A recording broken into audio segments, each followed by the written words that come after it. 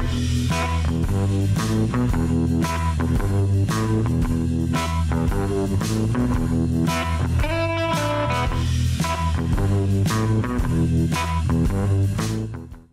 everyone. Welcome to the Cardiac Wire Show. My name is Jake Fishman. I'm the host of the show and the editor of the Cardiac Wire, and we have a great episode for you all today. Uh, we're going to be talking about advanced cardiac imaging and its use in diagnostics and preoperative planning, and we have really the, the perfect person on to talk about these topics. Dr. Christopher Maroules, who is a cardiac imager and leader in this space. Welcome to the show, Dr. Maroules. Uh, before we get started, or to get us started, please just give us a little background on yourself and and your organizations? Sure. Thanks, Jake. It's a it's a pleasure to be here. So I am a, a, co-founder and chief operating officer of Innovation Health Services, and I also serve as a director of cardiac imaging for SimonMed Imaging. Yeah, those are two big names in the in the space for sure. Can you can you give me a feel for your cardiac imaging operations and your workflows today? Yeah, absolutely. Um, they're a little different between Innovation Health Services and SimonMed Imaging. I'll start with IHS. So IHS is a national team of, of cardiac radiologists and imaging cardiologists. We provide uh, cardiac imaging support to health systems, hospitals all throughout the country, as well as a number of different private practices. And so, you know, we're involved in high volume cardiac CT, high volume cardiac MRI, and then as well as PET CT and other thoracic imaging, you know, needs. We serve both the outpatient market, inpatient, um, as well as acute ED studies. And, you know, we've got imagers sort of scattered all throughout the US. Um, we're a team of over 50 now. We've got we've got imagers in the West Coast, East Coast, and everywhere in between. We all read and interpret studies from a centralized clinical portal that uh, we designed ourselves. We call it Vivian. And within that portal, we have a number of different tools for uh, advanced visualization, reporting, things like that, including obviously TeraRecon and the uh, the Aquarius viewer. With SimonMed is one of the largest outpatient radiology practices in the U.S. A large number of radiologists, very large number of uh, outpatient imaging centers that are owned by SimonMed we have a growing team of cardiac radiologists uh, with within SimonMed, and they interpret uh, a very high number of outpatient cardiac CT and MRI exams on a daily basis. With SimonMed, we we all interpret studies from a centralized PACS, and then we have all of our imagers access to you know thin client um, advanced visualization solutions such as uh, TeraRecon. So slightly different, but a lot of similarities as well credit. So you mentioned TeraRecon. How long have you been working uh, with their solutions and you know how to use TeraRecon to support your workflows? Honestly, Jake, I've I trained on TeraRecon back in 2016 when I was at UT Southwestern uh, working with uh, Dr. Suhny Abbara. I've been around TeraRecon ever since I started in cardiac imaging. I absolutely love it. I think what what draws a lot of people to it is just its ease of use, so we we use it as really a primary tool for um, cardiac CT analysis, uh, both now at IHS and SimonMed Imaging. With IHS, another component of our practice is that uh, we run a, um, a level two cardi- uh, cardiac CT level two training course that's directed by um, our president, Dr. Mo Bhasin, and we use TeraRecon exclusively for that training program. We found that uh, trainees gravitate naturally towards TeraRecon. They they highly prefer it um, over other solutions, and so um, we've stuck with that since you know 2006 when we launched the course, and uh, has since trained over a thousand imagers using TeraRecon. I think over the, over the years we've kind of extended that use. You know, now doing a lot more structural heart imaging with CT, TAVR workups. You know, uh, now uh, transcatheter mitral valve workups, electrophysiology planning, you know, workups, and and and then even more recently, you know, cardiac MRI as a as a solution for post processing. So you mentioned CT early on, and that's it's had a big week or a big couple weeks with that the reimbursement increase. Can you maybe go a little bit deeper into the importance of CT for diagnostics and also the role of this new uh, doubled reimbursement that it'll have on utilization? You think? Yeah, yeah, it's been, it's been a huge week, you know, for cardiac CT. A lot of a lot of happy uh, cardiac imagers out there right now, for sure. As far as like you know, the, the use, you know, how how we use, you know, advanced visualization, post processing. I mean, it's it's expanding, you know, by the by the month it seems you know historically you know coronary ct angiography. obviously we use advanced visualization to to segment out the coronary arteries to measure stenosis severity to quantify plaque burden.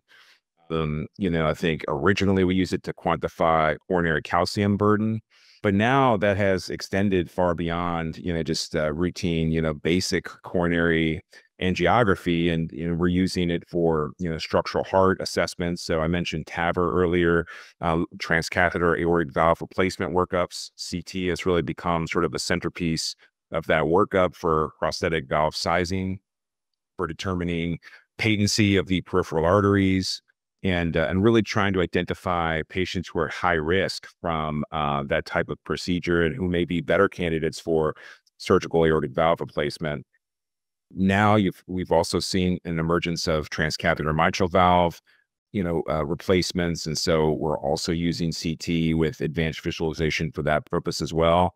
Structural heart evaluations to look for anatomy of the left atrial appendage, uh, pre and post closure now with uh, Watchman devices, amulet devices to look for anatomy of the left atrial appendage as well as um, any um, post procedural complications that will put the patient at higher risk. And and now, you know, MRI. I mentioned MRI. This is an exciting area that uh, Recon has ventured into.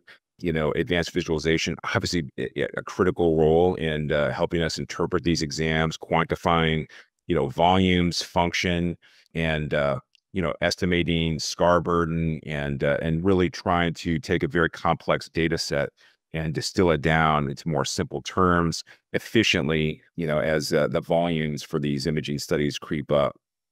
Now, you mentioned the reimbursements. I mean, this this is really exciting stuff, and I think it's it's really sort of uh, the culmination of a lot of work that uh, we've been we've been pushing for in um, in our advocacy groups for some time now. You know, if you look back over the last five years, we've seen, you know, some very powerful tailwinds for cardiac CT. And and really this is just, you know, a natural evolution, I think, of just the enormous positive data. Um, you know, the uh, the evidence base for for cardiac CT uh, has just become so rich and it's it's crystal clear that there's value here with this imaging study in 2021, we saw ACC, you know, recognize cardiac CT as a sort of a first line level one indication for chest pain. That was a big step. Um, we've seen the emergence of CT fractional flow reserve. It's now also a guideline based strategy for uh, quantifying, you know, the functional significance of a stenosis, you know, straight from a, a CT data set. That's amazing. Um, that's gained a lot of traction. AI, you know, plaque quantification tools have, have also emerged recently. Those are now being reimbursed by CMS and commercial payers. And, and then, you know, you just mentioned, you know, just last week, CMS reclassified, you know, coronary CT angiography into a new payment category or an APC, which will effectively double its reimbursement in the uh, the hospital outpatient uh, setting. And you know, I think that uh, this is only going to make it more attractive. And I think you know, as a cardiac imager, it, it has just blown my mind how slow, um, you know, uh, CMS and commercial payers were to sort of adopt this, and now now to see sort of like you know this this avalanche of support, I think is just fantastic. So I think we're all very excited about the future. Right, absolutely, and it's like you said, it's a it's a modality or or exam that has you know been growing even despite this this uh, lower than probably advised uh, reimbursement up until now. So that says a lot about what we can expect. You did just mention AI, and of course, you know, good for us for making it this far into the conversation without mentioning AI before. Um, but can you give me a feel for for the AI that you're using today and how you expect to be using it in the future? Yeah, absolutely. It's it's becoming, you know, more routine in our, our day-to-day workflows. Um, you, have seen, you know, the emergence of a number of AI companies and in healthcare and specifically in cardiac imaging. I think it's really exciting. Obviously, you know, AI-driven fractional flow reserve, FFRCT, you know, to evaluate for lesion-specific ischemia, that has, you know, now worked its way into the guidelines. It's recognized in the, in the, in the 2021 ACC guidelines for chest pain. You know, more recently, the AI-driven plaque, you know, quantification and segmentation with CT. We're using that now on a pretty regular basis to assess cardiovascular risk and uh, as well as you know uh, an individual's response to therapy and i think that's that's really kind of helping us guide tailored therapeutics and uh, and really sort of offer personalized diagnostics and therapeutics you know and only possible with with ct and this advanced uh, you know quantification uh, tool sets also, you know, with uh, MRI in particular, auto contouring now, and you know, uh, some of the segmentation tools that are AI powered to allow an imager to take a very large data set and uh, and and process it and uh, quantify ventricular volumes and function with ease without having to spend 30 minutes, you know, uh, manually drawing these circles around the the endocardial surface of the uh, of the left ventricle. I had to do that unfortunately as a fellow, and I can just tell you it's extremely painful and it's not practical. And I think it's been a, a hindrance, you know, to to cardiac MRI over the last uh, couple of decades. It's just been very difficult to sort of scale up your uh, your local operation because it's been so arduous to to process these exams. So those tools are going to be uh, playing very important roles. You know, TeraRecon, you know, just just last week yeah, it got FDA approval for their auto segmentation tool for cardiac MRI. So that's very exciting. Uh, we're looking forward to, you know, uh, using that tool a lot more in our practice. The, the point you made about automation and customization and basically how that's created a, a very different workload than compared to just, you know, not too long ago when you were in fellowship. I mean, a better feel for the array of automation and customization features that that you're using in your workflow. Yeah, I mean, automation is very, very important. I mean, as as the demand for these imaging exams increases, you know, we as imagers rely very heavily on any tool that will improve our workflow efficiency, but also ensure that there's no drop off in accuracy.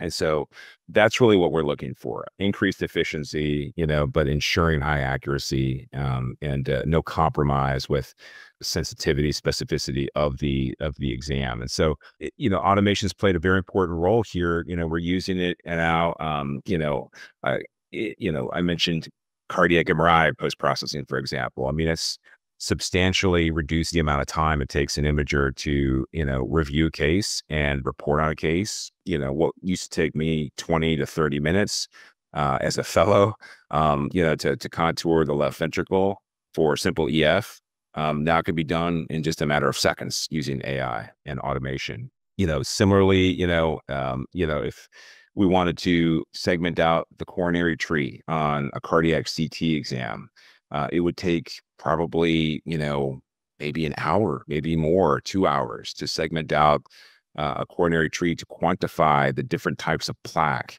and identify vulnerable plaque, you know, within the coronary arteries. That can now be done in, you know, minutes, if not seconds, you know, using automation and some of these AI powered algorithms. And so, you know, we're really driving efficiency as, as, as high as we can right now.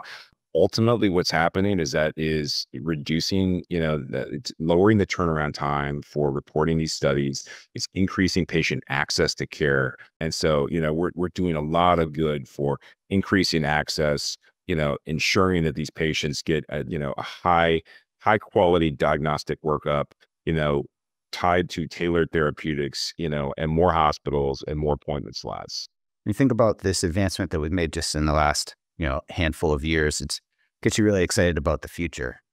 Is there are there certain technologies that you see as having driving the greatest evolutions within cardiac imaging? What really excites me the most and, and most of my colleagues this uh, plaque quantification you know the volumetric plaque quantification has really gained a lot of attention. I think that's really exciting stuff you know i i, I envision a future where you know volumetric plaque quantification will become the calcium score of the future, right? And so we used to really rely on coronary calcium scores eh, to risk stratify patients, you know, for future adverse cardiovascular events, you know, heart attacks, strokes, that sort of thing. We have a lot better data now to work with from a CT angiographic data set.